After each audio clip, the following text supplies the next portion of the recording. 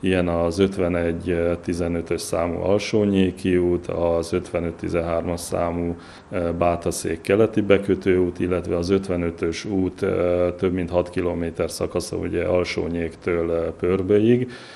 Ez az út, ez, ezek az utak teljes felújításra kerülnek, úgy mint a burkolat megerősítés, a patkák, vízelvezető árkok, illetve az 55-ös úton egy híd teljes elbontása, elbontása és újraépítése.